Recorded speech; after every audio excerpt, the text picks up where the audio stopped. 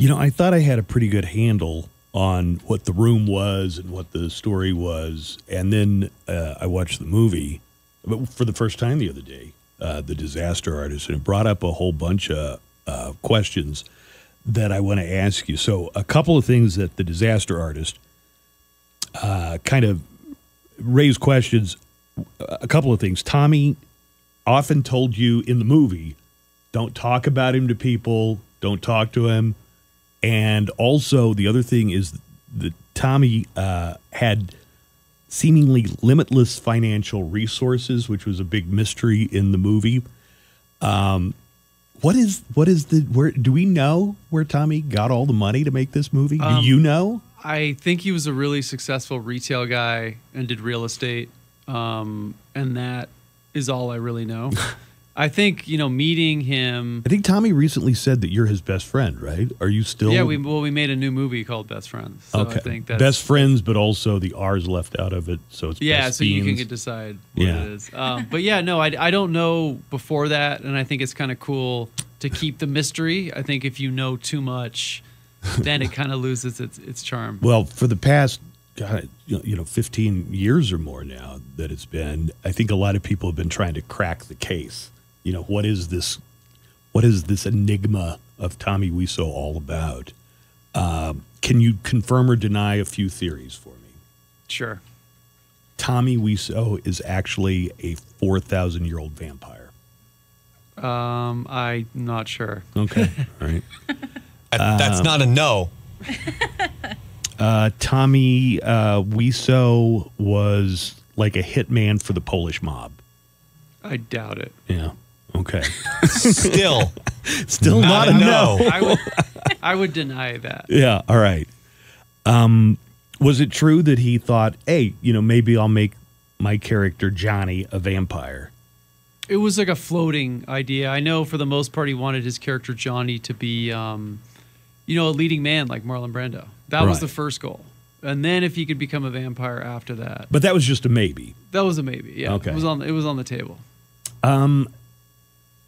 Now, I thought the movie also played around with maybe some subtext or a suggestion that uh, Tommy might have been interested in you as more than just friends. Is did you get that feeling from the movie, or was that in your book? You know, the way that he really lost it when you and your girlfriend decided that you were going to move in together is what I'm thinking of specifically. I think it's more of an LA thing where like you go to LA to try to become an actor and you have like this life raft and you have a, hopefully a few friends that are doing the same thing. And I think when people start to leave you start to lose hope. And I think it was more the thought of losing the support I think more so than anything else. Was I was I picking up the wrong signals there from the movie, or I do you think the movie tried to hint at that a little bit and just dangle it out there when they made the film? I mean, I think the whole story is very bizarre. So there's probably subtext. There's probably reflections of that. But I, I you know, I don't. I'm not but sure. you lived it, so you and you wrote the book. So did you ever get that feeling that? No, I mean the whole thing was just bizarre. So uh, you, I think that it revolved around that. Uh, has this, you know, your experience with Tommy and the room, and then the disaster artist, has that been a, a net positive for you as an actor and a, a film career, or has it? Would you say it's been a net wash, or a negative, or a positive? Or, I, it's definitely a positive. I Yeah. mean, it's it's a weird positive because in any other business, you know, you need to excel at something and do well. But with this, it became something so different that it gave you, um, instead of just being on a TV show or whatever, like you know, traditional actor, it gave you a story and, and a unique perspective that I think you couldn't have gotten if you would have just done TV shows or films the the normal way. So it's um you know it's become a worldwide phenomenon now and the book you know obviously became an award-winning movie so it's it's been an interesting path to get there but it's definitely been a positive uh, tell me about the new movie. What you can tell me, best friends So- or best fiends, if you leave the R out. so but yeah best friends comes out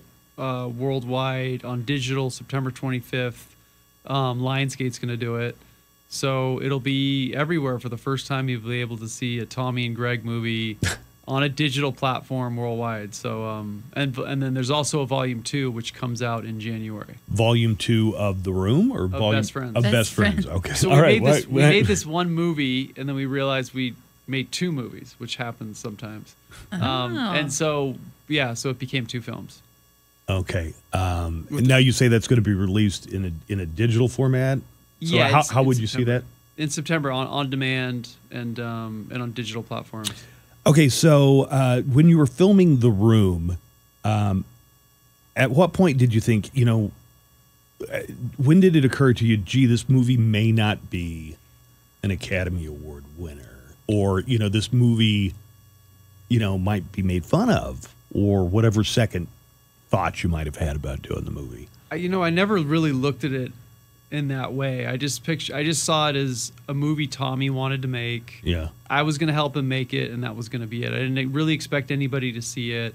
I didn't expect it. Okay, to, so you didn't expect it to be. No, I didn't expect anything really. I mean, I knew it was like Tommy's Planet, what I call it, where we were going to make something that wasn't really good or bad. It was just Tommy. But you weren't at any point staking your uh, career on it or saying this is oh this is really going to No, be my I- big break into showbiz. no. But but Tommy believed that, right? Yes, Yeah, yeah. Tommy believed this was going to be Yeah, he critically believed that if I didn't make this movie, that it would be the biggest mistake I'd ever make. yeah. Um, at what point after the movie was finished did you realize, hey, this thing is turning into a different thing? You know, it's going from being this project I did with my friend to a thing that people are seeking out and people are telling their friends. You got to watch it. And I got to say, you know, it's very easy to sit here and say, it's just like, oh, this is a bad movie. You should watch it because it's bad. It's more than that. It's just fascinating. The whole thing is fascinating. So, was there any one moment where uh, we're talking to Greg Sestero, who wrote The Disaster Artist, where you said, okay, this is not what I bargained for, but it's turning into this thing that's bigger than, than what I expected? Um, I was just curious what people were going to think when they saw it, and so you know, not worried Were you worried at all about Not what people all. were going to think? Mm-hmm. No, because it's again, it's one of those things that if you're a known actor, you have something to lose. You know, in this case, I'd done uh, all I'd done is Retro Puppet Master, which was like a really bad horror sequel. Mm-hmm. So I had nothing really to lose. I was just curious what an audience would think of this because it's a movie that you know so many people say should have never gotten made.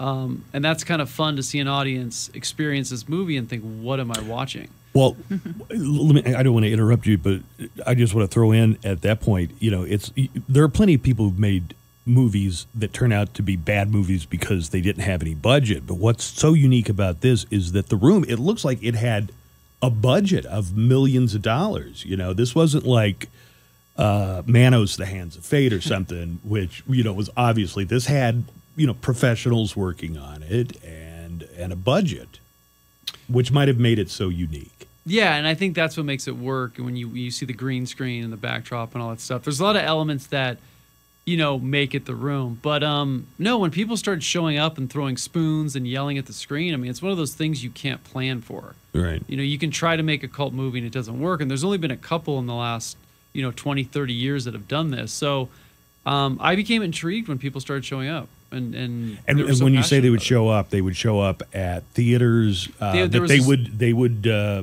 rent themselves, or that Tommy would. How would it work that you would go see this movie? It would play once a month in LA at the Sunset 5 Mm-hmm. and, and like a thousand people would show up every month. Yeah. and they'd bring spoons. It was like it turned into a Rocky Horror. exactly yeah. So that was really intriguing to me because I love movies, and I thought, what does this movie have that all these other movies don't? I mean, you know, seven, ten, fifteen years later, people are still showing up to see this movie, and there's new releases that people don't even care about. So it, it superseded anything I could have ever expected, and then for me, I just became intrigued what what was in it that people wanted to see.